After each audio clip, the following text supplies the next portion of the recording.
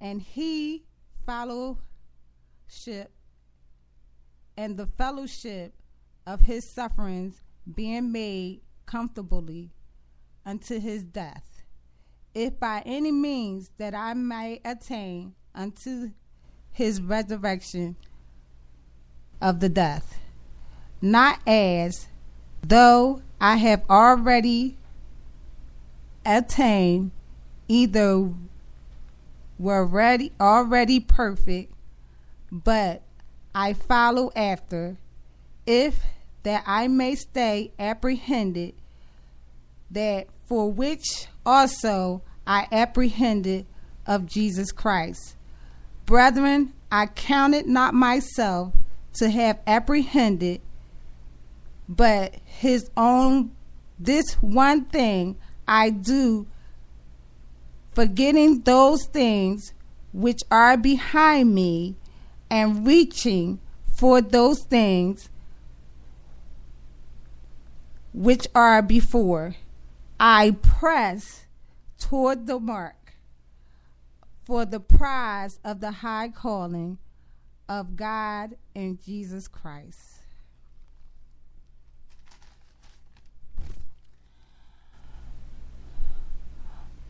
In this these verses, Paul is not talking about salvation in these verses.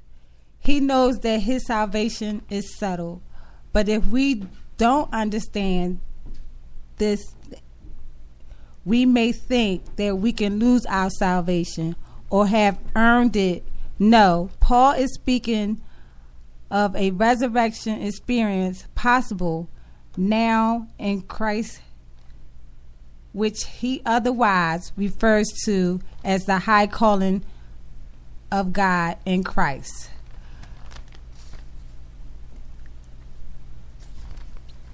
Incidentally, don't think of high calling of God as in calling given only from some Christians, which others may settle for less. No, the phrase really means the upward calling of God in Christ Jesus. God is calling you upward to Him. This is for all if God is calling you. Christ regarding of actual functions in the body of Christ. This is an upward calling. It always is.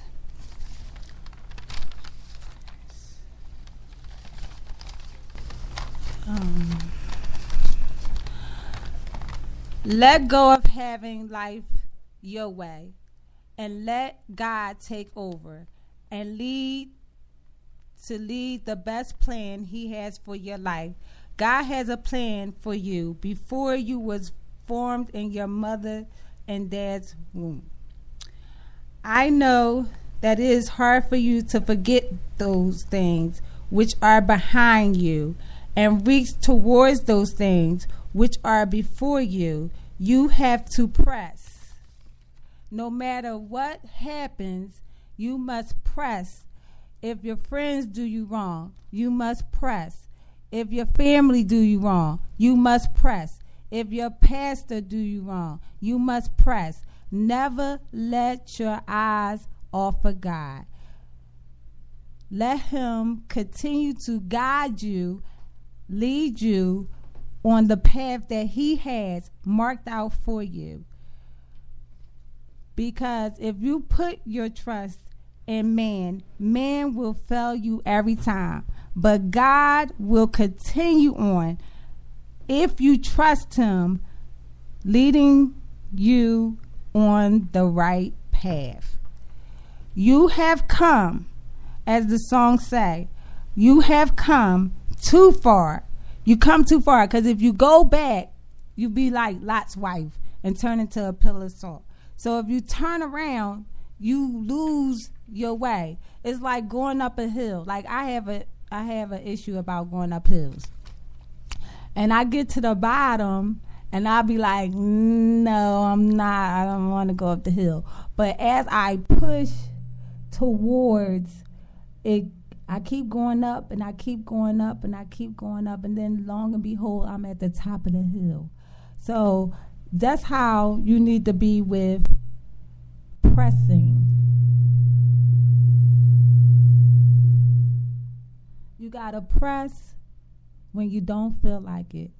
You got to press when people all around you is getting on your nerves. You have to press when you have no money in your pocket. You have to press when you ain't got no money to fix your car. You have to press when you don't have a job. You have to press when your kids get on your nerves. You have to press when your pastor get on your nerves. You still have to press toward the mark of the prize of the high calling in Christ Jesus. No matter what happens, you have to press. You have to keep going. Don't turn around. Don't turn around. Keep going and keep going because at the end, you're going to reap all of that, all that pain you had to go through in the beginning, all that hurt, all that letdown, all that just everything that makes you upset, you're going to have to keep going. You're going to have to say, you know what? It's like dirt. And you shovel dirt and you go, it go over your shoulder. So you put the shovel in and and then you pat it down. Excuse me. So just think of everything that you've been through, all the time that I'm not saying because I'm a woman. So every time a man hurt me, you know what I do with it? I put it and throw it over my shoulder, and then I pat it under my feet. And that's the same thing that for you, gentlemen. If a woman, if you're going to do something with a woman or whatever the case may be, I don't know what's going on, but you go, you put it as use it as dirt, and you got a shovel and throw it over your shoulder and pat it down. See how high you get every time. You get higher and higher every time. So as I come to my close you, I'm me myself personally, and you out there in Radio Land on Our Miss Live, you have to press towards the mark. You have to keep going. You came too far to turn around. There's no need to turn around because there's nothing back there, obviously. So it's just like, you know, when you're driving in the car and it says the object is closer than it appears and you're trying to back up and then you wind up bumping the car, that means it's closer. So you have to keep on, just keep going forward, just keep traveling forward. And I promise you that God will give you everything that you need, everything that you want if you trust Him. You have to trust God in everything that you do. Sometimes I get me personally, I'd be like, well, God, why did I have to go through this? And Lord, you took, you took, I asked God to remove certain people. That's what I did. I didn't think about who he was going to remove. I said, whoever doesn't mean me or my family any good to remove them. So he did. And then I, then I went back and said, Lord, why you remove that person? Because I thought that person was for me. But long and behold, that person meant my family no good. So he kindly removed them. So every time I ask God about certain things and he removes it, I've stopped asking God why. Because if if I ask him, I went to him and I asked him to remove it and he removes it, it was not meant for me to have. So that being said, when I ask God to remove certain people, and that means I'm going higher in my place in God, and that person must have been my stepping stone. So I stepped right on top of that person, whoever it was, or whatever it was that was in my way from me getting to what God has for me. I had to move. I had to get out the way and let God work it out, and He did. So, in my closing, I came too far, and I've been through so much. I have so much on my I had so much hurt and so much pain. And then I said, God, I want to remove the pain. I want peace. I want understanding. I want life. I want to be happy. And guess what happened? Every day it gets better. Every day it gets sweeter. every day I'm more happier. And people just like, well, what happened? Why you smile so much now? Because I used to fake smile. I used to sit in church and fake smile because I had to put on a persona for certain people. But now my smile is real because I asked God to remove. So when God removed, my smile got bigger.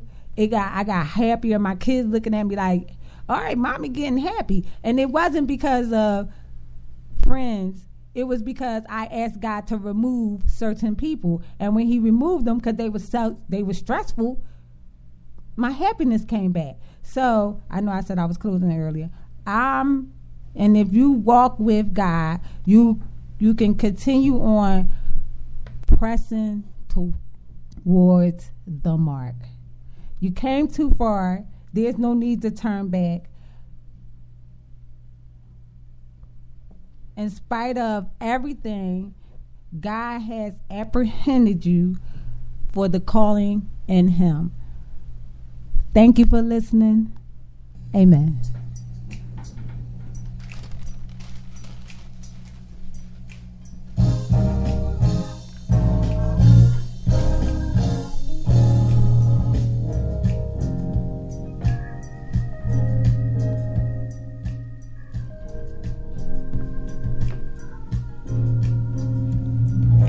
Tragedies are commonplace. All kinds of diseases, we people slipping away. Common can't get, getting no pay. As for me, all I can say is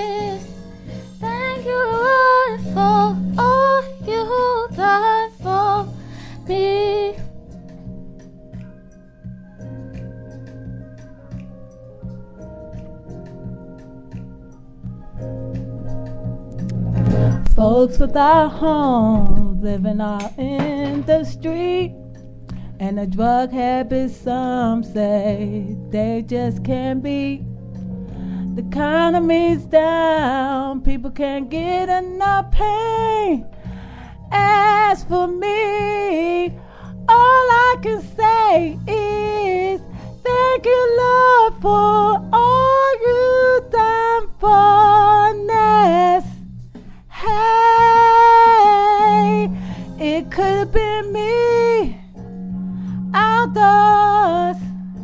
With no food and no clothes, all left alone without a friend or just another number with a tragic end.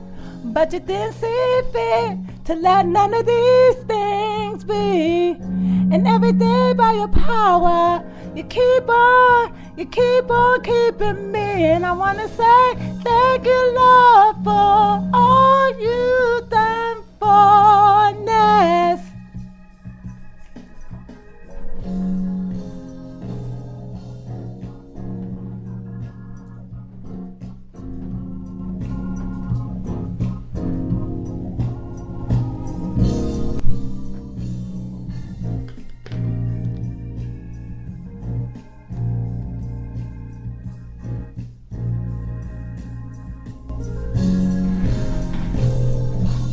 Thank you, thank you, thank you, thank you, thank you, Lord, for all you done for us.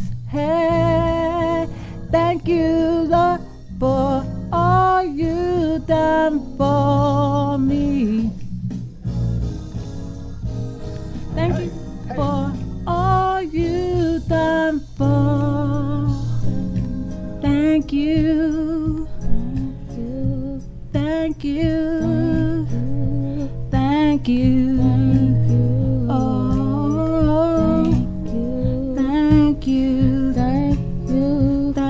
you, Thank you. thank you, Thank you.